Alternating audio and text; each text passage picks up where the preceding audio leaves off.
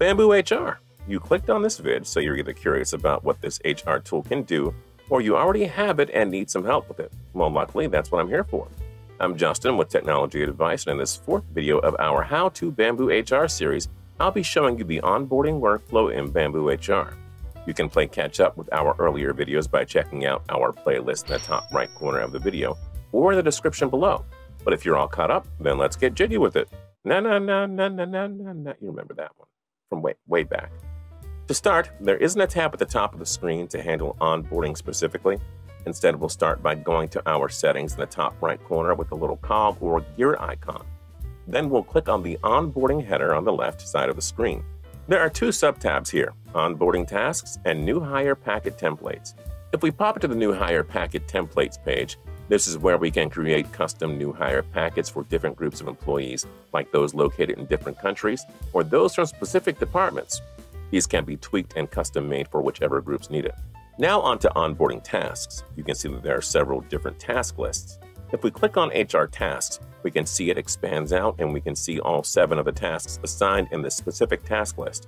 Each item can be assigned to different people and can have their own designated due dates, like due seven days after hire date or due on hire date.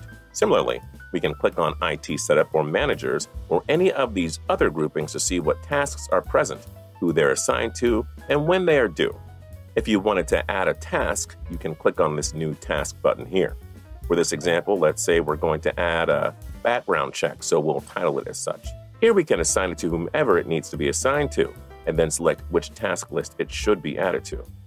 The next two checkboxes allow you to designate if a file can be uploaded for this task or if a file must be uploaded for this task to be considered completed. We can then designate whether or not a due date is required, and if so, whether it's on the hire date itself or in relation to it, such as three days after hire date or something like that. For simplicity's sake, we'll go with hire date for this example. We can also choose when an assignment notification message will be sent out, so we can have notifications go out as soon as it's been assigned or on the due date, or a set time before the due date. Here in this text box, we can put a quick description blurb about what you expect from this task. And then this Choose Files button will allow us to attach any relevant documents for this specific task. Here near the bottom, we can also choose if this should apply to all employees or only to specific groups of employees. A common example of this would be if you have specific paperwork that part-timers need to see that full-timers don't, or vice versa.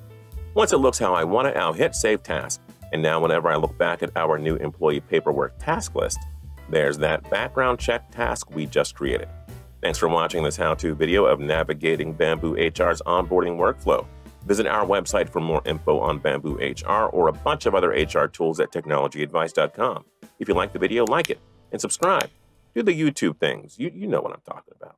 See you next time. Na na na na na na.